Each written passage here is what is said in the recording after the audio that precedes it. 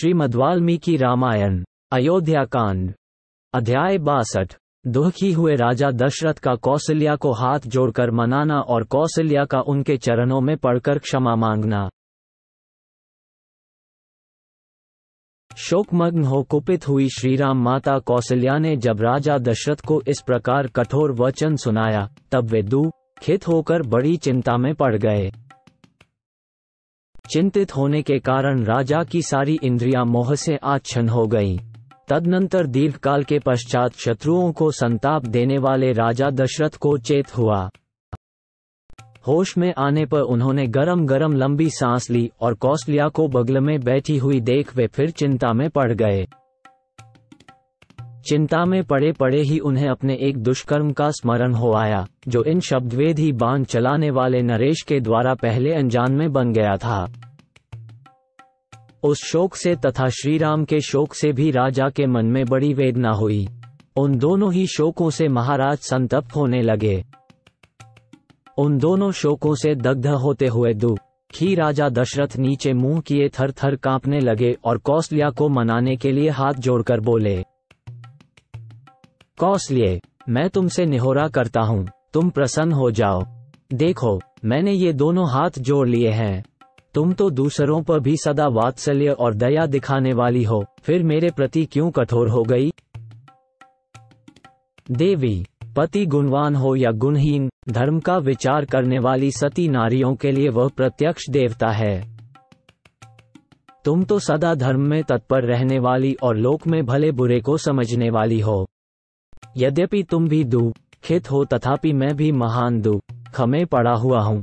अतः तुम्हें मुझसे कठोर वचन नहीं कहना चाहिए। दुखी हुए राजा दशरथ के मुख से कहे गए उस करुणाजनक वचन को सुनकर कौशल्या अपने नेत्रों से आँसू बहाने लगी। मानो छत की नाली से नूतन वर्षा का जल गिर रहा हो।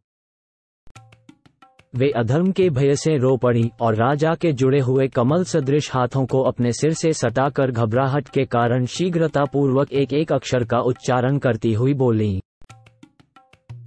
देव, मैं आपके सामने पृथ्वी पर पड़ी हूँ। आपके चरणों में मस्तक रखकर याचना करती हूँ। आप प्रसन्न हो। यदि आपने उल्टे मुझसे ही याचना की, तब तो मैं मारी गई। मुझसे अपराध हुआ हो तो भी मैं आपसे क्षमा पाने के योग्य हूँ, प्रहार पाने के नहीं। पति अपनी स्त्री के लिए इहलोक और परलोक में भी स्पृहनीय है। इस जगत में जो स्त्री अपने बुद्धिमान पति के द्वारा मनाई जाती है, वह कुल स्त्री कहलाने के योग्य नहीं है।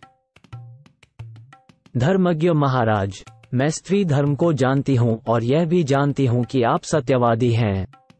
इस समय मैंने जो कुछ भी न कहने योग्य बात कह दी है, वह पुत्र शोक से पीड़ित होने के कारण मेरे मुख से निकल गई है।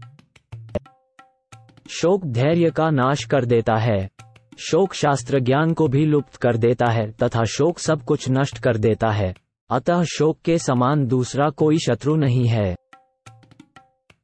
शत्रु के हाथ से अपने ऊपर पड़ा हुआ शस्त्रों का प्रहार सह लिया जा सकता है, परंतु दैववश प्राप्त हुआ थोड़ा सा भी शोक नहीं सहा जा सकता।